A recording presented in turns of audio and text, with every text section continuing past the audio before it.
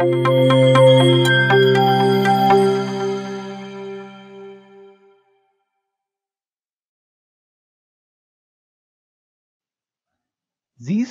are a unique object type that aren't useful for rendering animation, 3D printing, or pretty much anything other than establishing basic forms.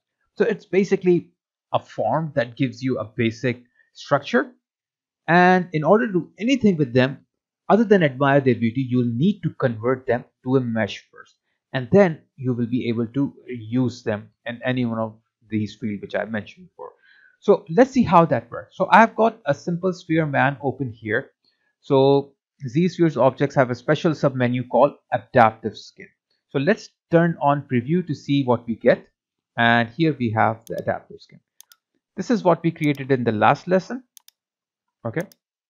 So I hope you have worked on it and maybe you have something with the toes and the fingers. But I have the one that uh, basically what we had created. Now here we have the adaptive skin over here now uh, I'm also going to hit shift F right now to turn on my polyframe or just simply click here so that I can see the polyframe here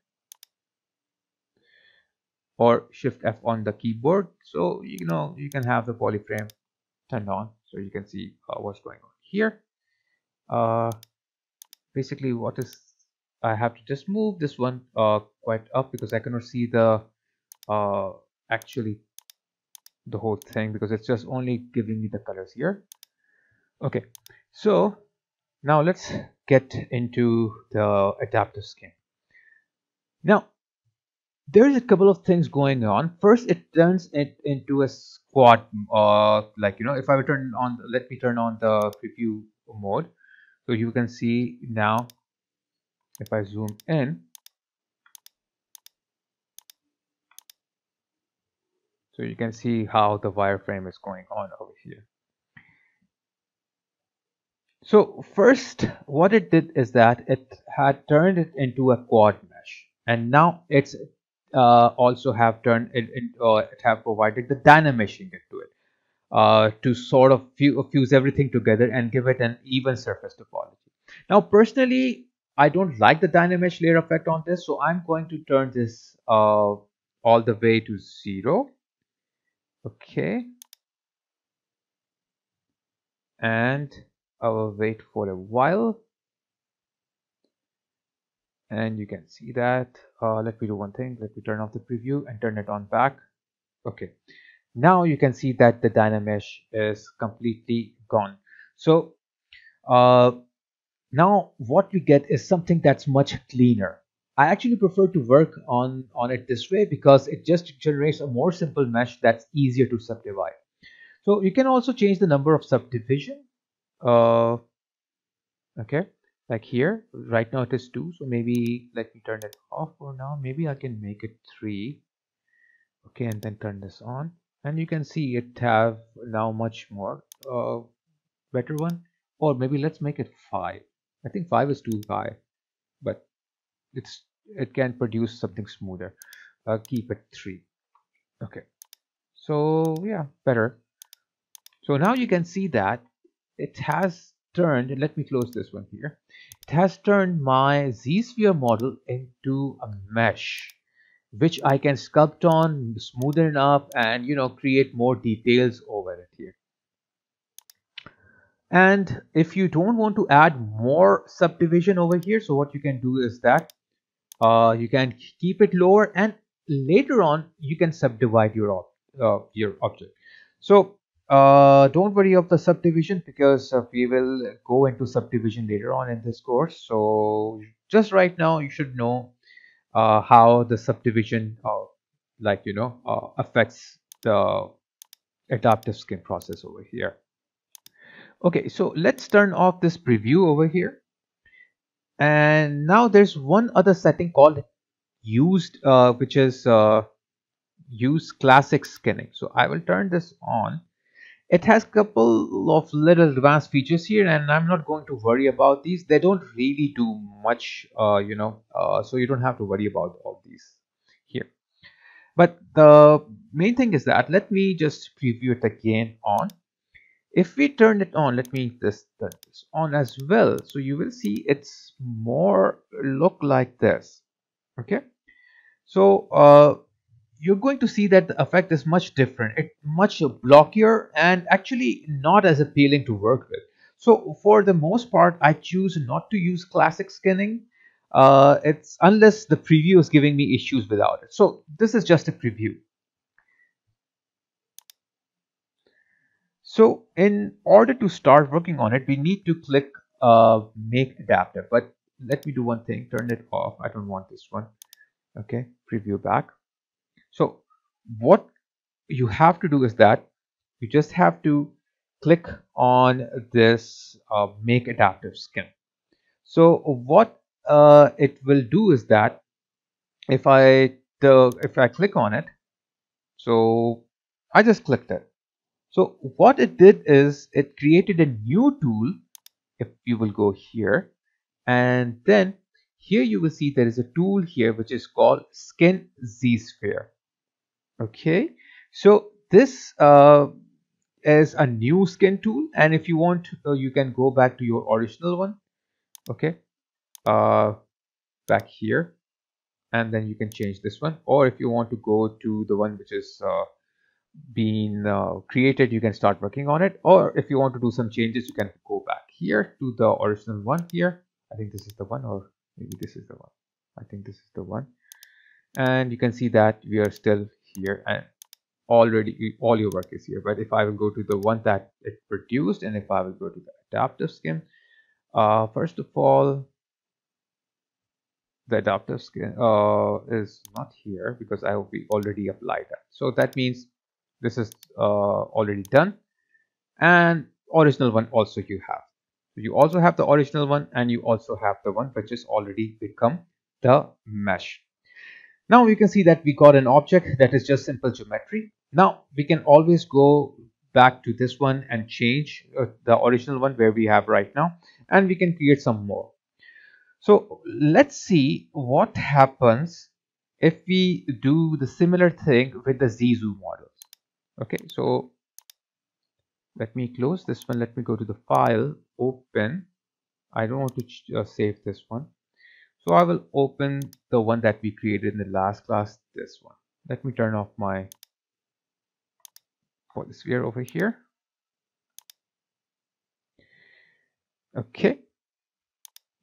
Now here if I will go back to the adaptive skin let me uncheck this one and preview this. So you will notice that it will create something as this, but it's not giving me a quite of a uh, like you know unification over here. It does not look like it is uh, unified like the way I want it. So this can be a good situation where we actually want to use classic mode. So if I will check this one, use classic skin and then preview and this you can see that will be a quite good start with it so you know if I will make it as, as an adaptive skin and then if I will go back here to the one where I have this skin greyhound okay? And then what I can do here is that I can simply smooth out all these by pressing shift key. And you can see how it is smoothing it out. And this is how your result will be okay? And let's see one more thing here. Let's go back to my original one here. Okay so the objects in the Zizou are a little bit more advanced and they are also a little bit more complicated which means sometimes you're going to get some weird glitches like the one that I did right now and it's not uh, applying any changes uh, a lot of changes so you have to do some experiments with these adaptive skin options and see which suits best.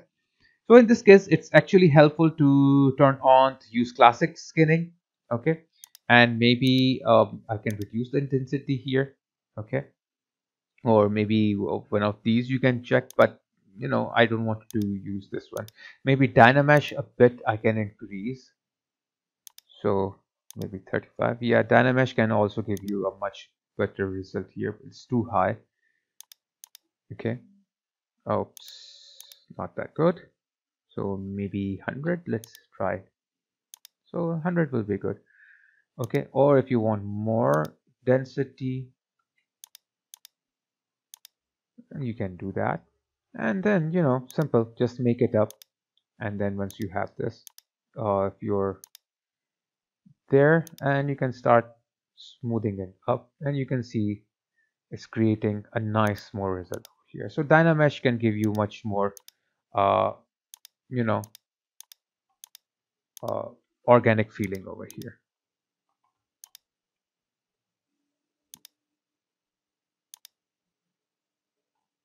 so my smooth brush is too strong here so let me decrease the intensity. I will press shift on my keyboard so I can go to smooth brush and I can decrease this smooth brush intensity. So this will not smooth it up just like it was doing before. Maybe a bit higher. Yeah better.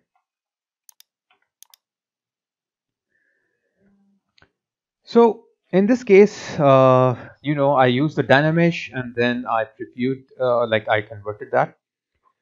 So what this uh, this did is that it actually turned each individual uh, you know like my uh, object uh, like z sphere in and like segment and join it to our own geometrical object.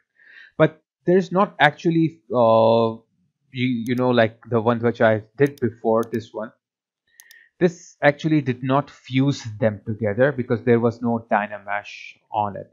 But here I have the Dynamesh on it and I used uh, like a value of 100 and you can see that it fused it together. So Dynamesh uh, uh, like helps you to fuse them together and it looks uh, like you can compare both of them and you can see uh, like the result. Okay, so without Dynamesh and with Dynamesh. So of course you can use your clay tool over here okay. And you can build up some more stuff on it. And you can smooth those too but you can do so many uh things over here. So you know. You have different choices to work on your objects. It's totally up to you. So you can use uh, other stuff over here and you uh, if you can see there's a couple of different ways to go about turning your z-spheres into a mesh that you can start sculpting on. If you decide that you need to make some changes you can always go back to the original one. Okay uh where is the original one? I think this is the original one. And this is the original one. Yeah turn off the preview. So this is the original one. And then you can do the changes if you want and you can again uh, do the preview. If you like it you can make an adaptive one. Another uh, tool will be created. So if you have uh, liked my video please click on the like button. And I hope you have understood about how you can turn these these views into meshes and work around. And please subscribe to my channel if you have not subscribed to it uh, to it yet. And give me a shout out if you have a your own uh, social media account so help me to get more subscriber. And i will get you some more full courses tutorials and seminars and webinars and you know live sessions.